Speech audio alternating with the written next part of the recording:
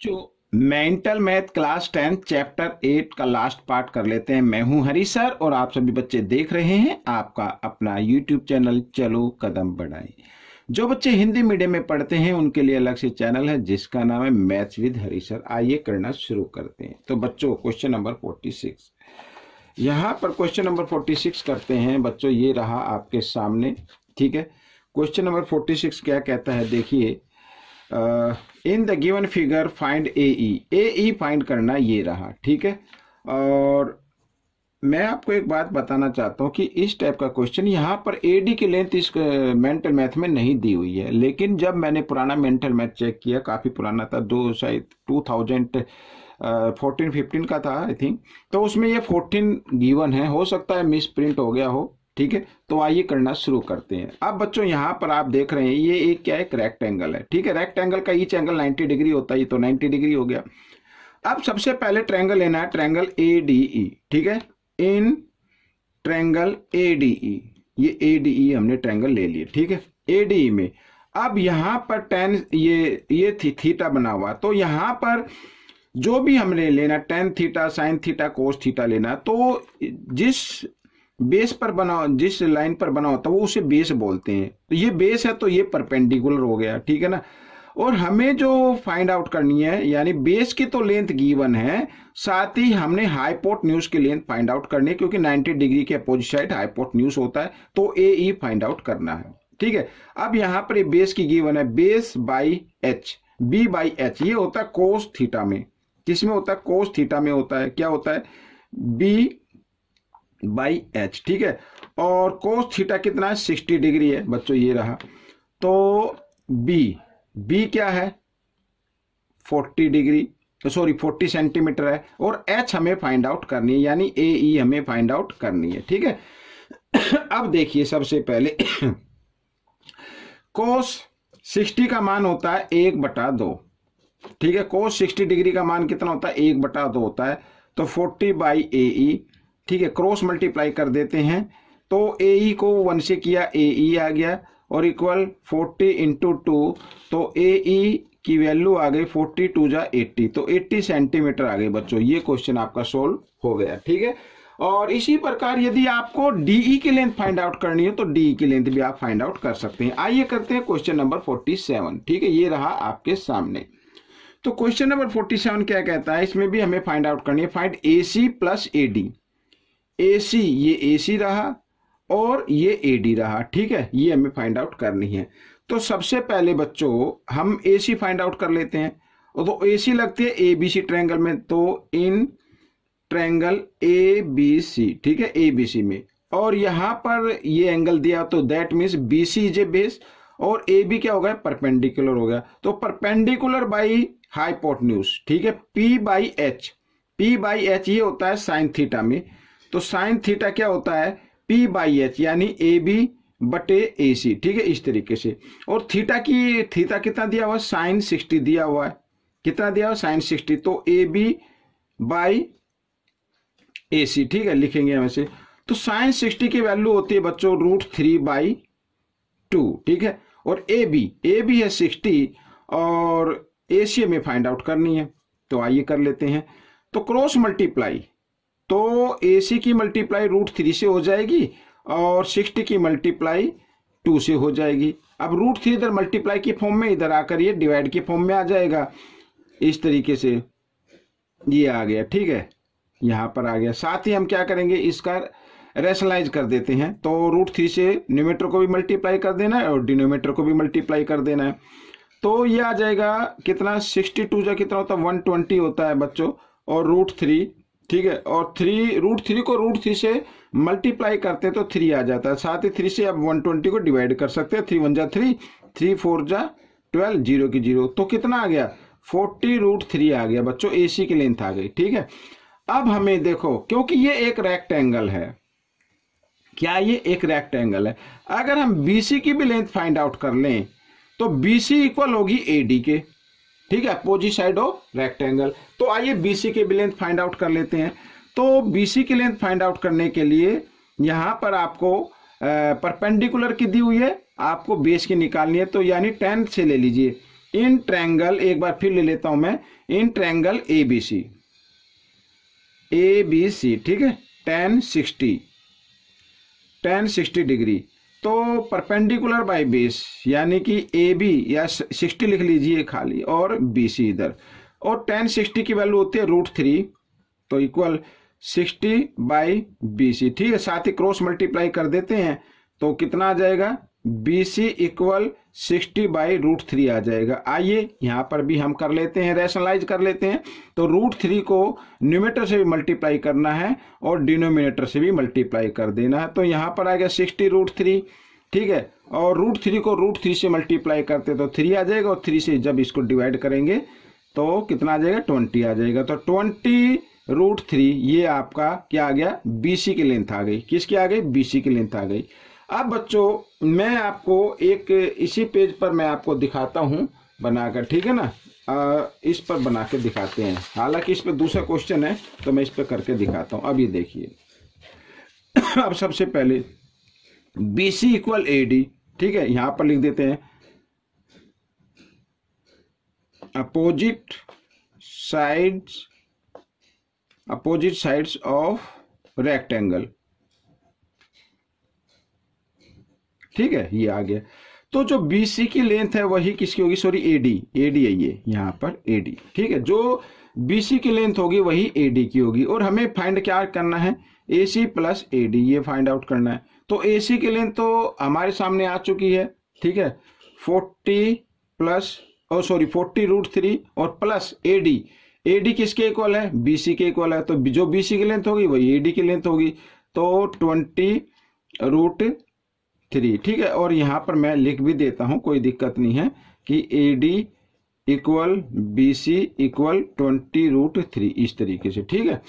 तो दोनों को ऐड किया तो फोर्टी प्लस ट्वेंटी हो गया सिक्सटी सिक्सटी रूट थ्री ये आपका आंसर आ गया, इसको सेंटीमीटर लिख देते हैं, बच्चों, ये क्वेश्चन आपका सोल्व हो गया, ठीक है? आइए करेंगे क्वेश्चन नंबर फोर्टी एट ये रहा आपके सामने इस पर तो इस क्वेश्चन को हम बाद में करेंगे तो क्वेश्चन नंबर फोर्टी एट कर लेते हैं, ये रहा आपके सामने, ठीक है?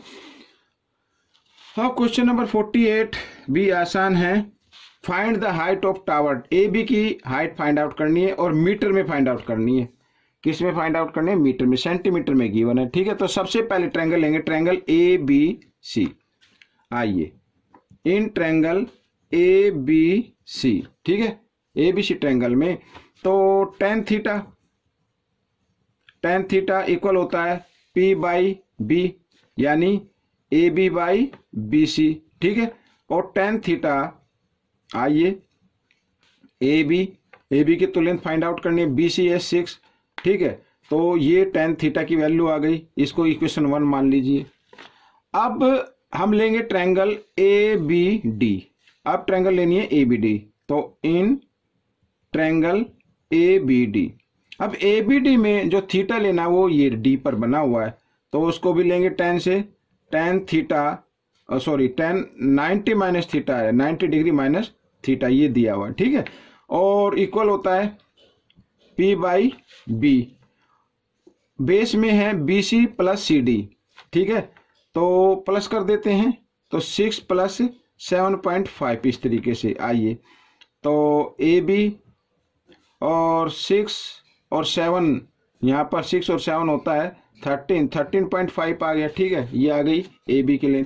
अब sorry tan ninety minus theta, और tan ninety minus theta equal होता है बच्चों, कोट थीटा के, ठीक है तो यहाँ पर मैं इस तरीके से लिख देता हूँ, ठीक है। अब ये आ गई क्वेश्चन टू अब हम क्या करेंगे, हमें निकालनी है ए बी की लेंथ।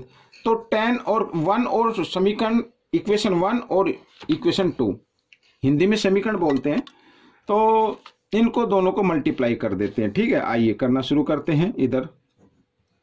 तो tan theta into cot theta ठीक है? इनकी वैल्यू को भी मल्टीप्लाई कर देते A B by six multiply A B by thirteen point five इस तरीके से।